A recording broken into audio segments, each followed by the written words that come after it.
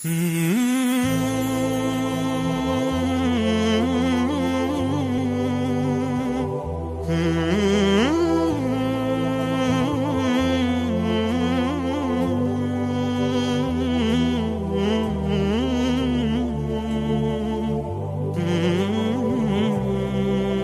لله واصلي واسلم على رسول الله وعلى اله وصحبه ومن والاه اعزائي المشاهدين متابعي قناة الأنيس مرحبا بكم معنا في برنامجكم الفقه الميسر. اليوم إن شاء الله سنتكلم عن أحكام صلاة المسبوق. قد يقع للإنسان المسلم في بعض الأحيان أن يأتي متاخرا إلى الصلاة. ربما فاتته ركعة ربما فاتته ركعتين ربما فاتته ثلاث ركعات. هذا هو المسبوق. المسبوق الذي إذا جاء يجد الجماعة قد بدأوا الصلاة. ممكن يفوته شيء من القراءة أو تفوته ركعة أو تفوته ركعتين أو ثلاث ركعات أو أربع ركعات. ولكن لا ينبغي للمسلم أن يأتي دائما مسبوقا فإن هذا مذموم. فقد قال صلى الله عليه وسلم لا زال قوم يتأخرون حتى يؤخرهم الله. وإدراك الصلاة من أولها فيه فضل عظيم جدا.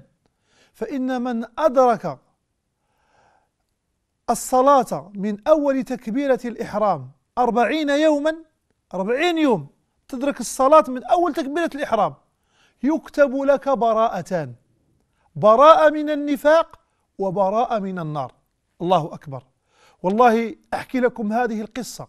في مرة كنت في منطقة من مناطق الجزائر في غرب الجزائر. فإذا ب لا أقول شابان بل آه مراهقان يعني عندهم 14 سنة. وجدتهم يتنافسون على أن يدركوا الصلاة من أول تكبيرة الإحرام أربعين يوما. هذاك اليوم كان هو اليوم الأربعين. أربعون يوم لم تفتهم تكبيرة الإحرام. إذا تقرر هذا. فهنا نبدأ في الموضوع وهو الكلام على أحكام صلاة المسبوق. المسبوق ينبغي أن يأتي إلى الصلاة بسكينة وبوقار كما مر معنا في درس آداب المشي إلى الصلاة. لأن ربما المسلم إذا كان مسبوق يريد أن يدرك الركعة فيأتي وهو يجري وهو يهرول وهذا خلاف السنة. فالمسبوق يأتي إلى الصلاة بسكينة وبهدوء والذي يدركه مع الصلاة يصليه مع الإمام والذي يفوته يقضيه أو يتمه قال عليه الصلاة والسلام معلما لنا هذا الأدب إذا أتيتم الصلاة فلا تأتوها وأنتم تسعون وأتوها وعليكم السكينة فما أدركتم فصلوا وما فاتكم فأتموا هذا المسبوق هل ينال أجر الجماعة؟ يعني واحد فته الركعة الأولى حضر الركعة الثانية والثالثة والرابعة من صلاة الظهر. هل ينال أجر الجماعة؟ نعم ينال أجر الجماعة. ولكن ليس هو في الأجر كمن أدرك الصلاة من أول تكبيرة الإحرام. لبكر المسجد وحضر الصلاة من أول ما قال الإمام الله أكبر ليس كمن فاتته ركعة ليس كمن فاتته ركعتين.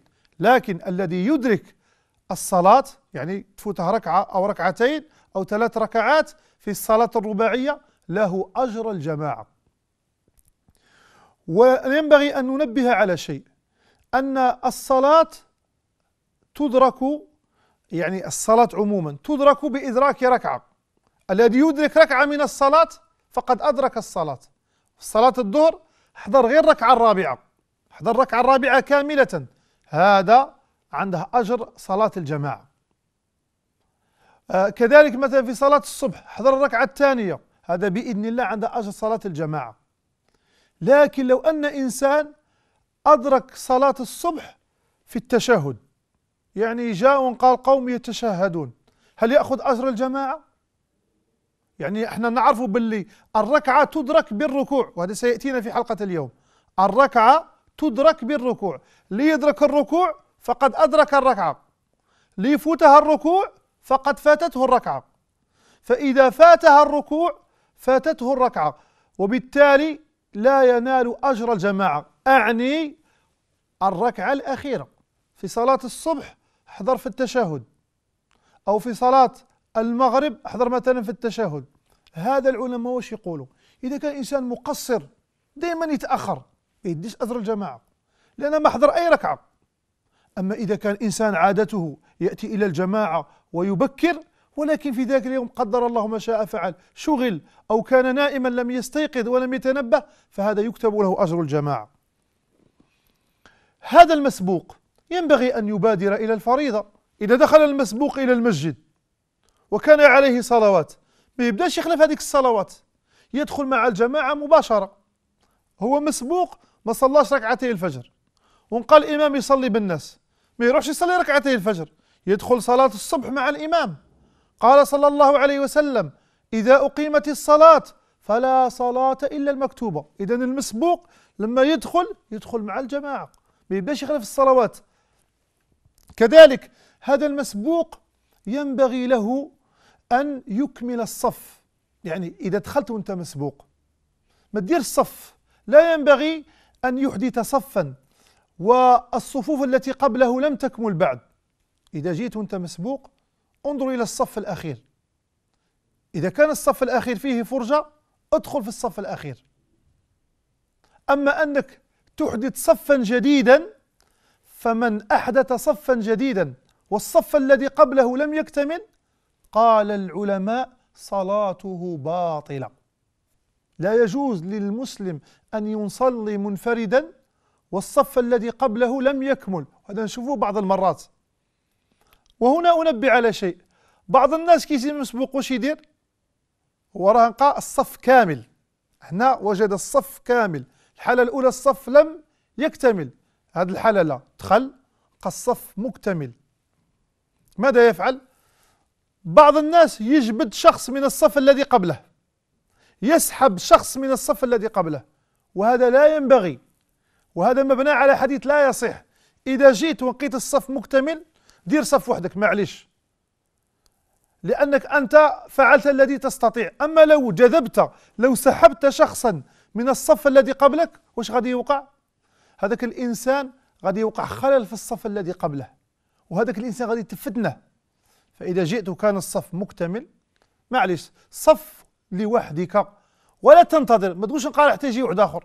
وكون هذاك الشخص اللي تنتظره لا يأتي. وكون ربما لا يأتي إلا في الركعة الثانية. المسبوق إذا جاء.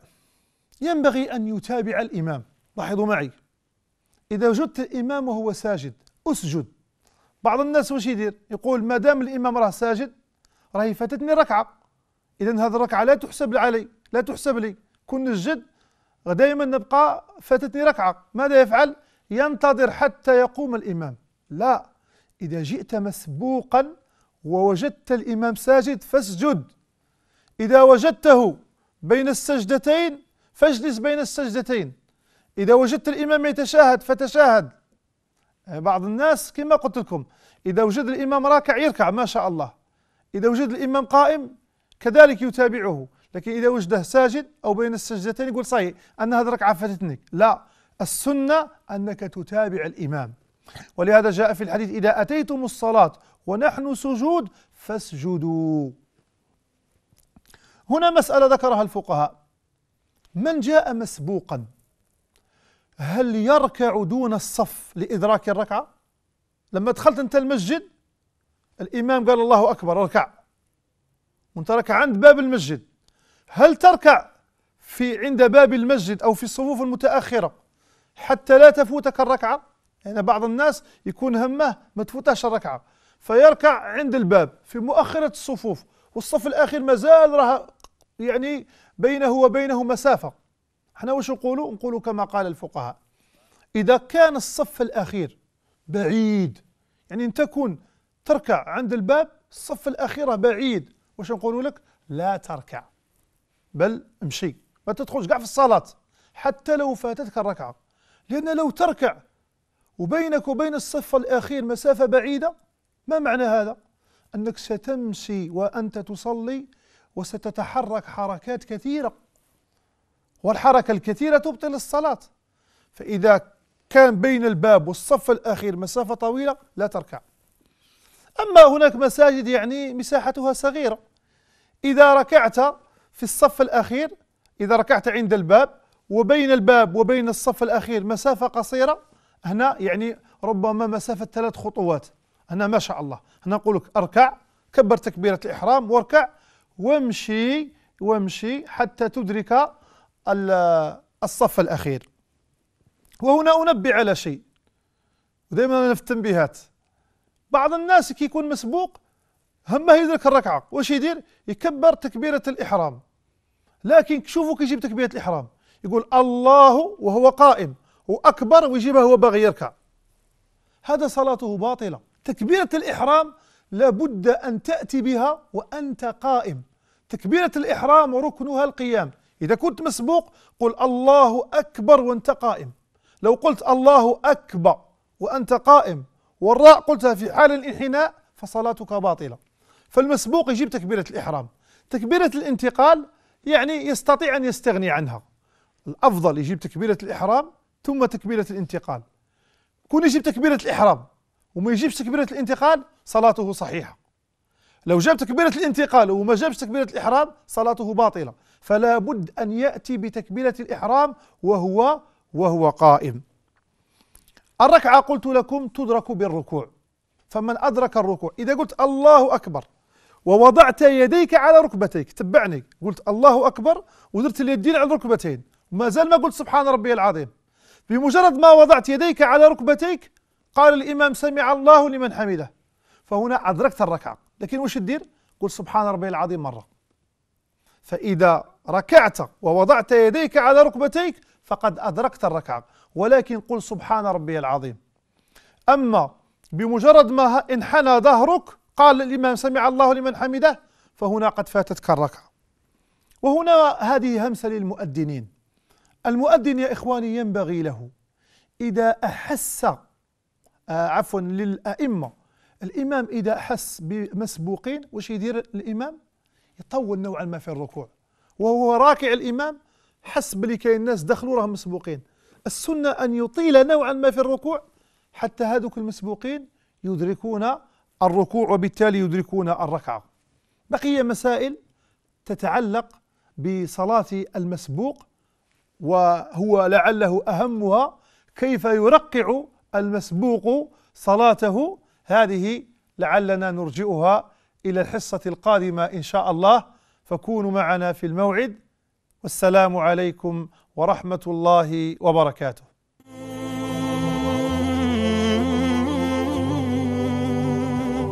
Hmm.